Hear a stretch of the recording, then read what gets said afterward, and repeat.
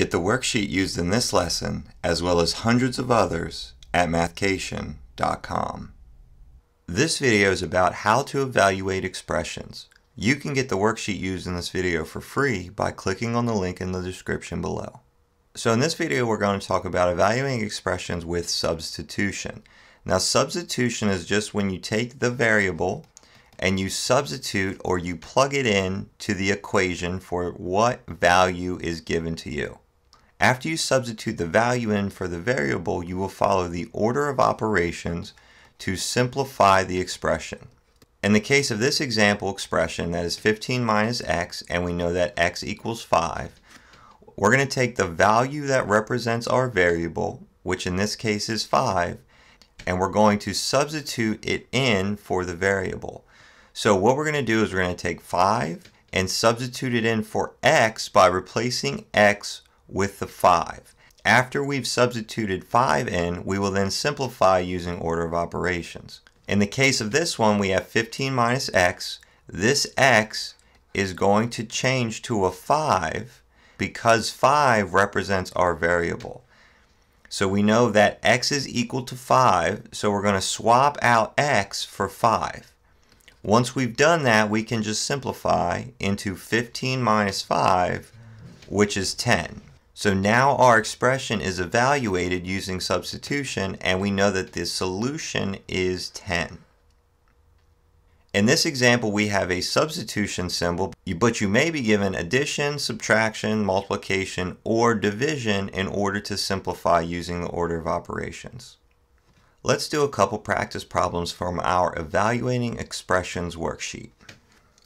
The first problem on our Evaluating Expressions worksheet gives us x plus 1 where x is equal to 5.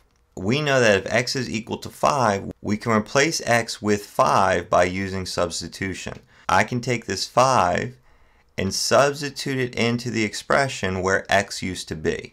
So x plus 1 is going to change into 5 plus 1 because now our x has been substituted with a 5 and now it's a 5. All we do after this point is use order of operations to simplify. 5 plus 1 is equal to 6. So after we evaluate this expression, our answer is 6.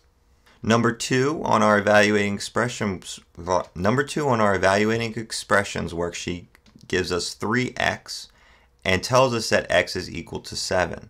So we're going to take this 7 and we're going to substitute it in for x. Now 3x is like saying 3 times x. So even though it's not written, there's a multiplication symbol there.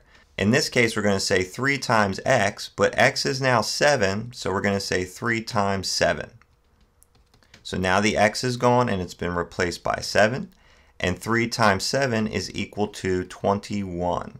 And that's our answer for this expression. The third problem on our evaluating expressions worksheet gives us 10 divided by x. This time x is equal to 2, so we're going to take this 2 and substitute it in for x. Our expression is now 10 divided by x, but in this case x is 2, so now it's 10 divided by 2. And then 10 divided by 2 is equal to 5. So our expression is evaluated and our solution is 5. The last problem we're going to complete on our evaluating expressions worksheet is number 5. This problem gives us the expression x plus x.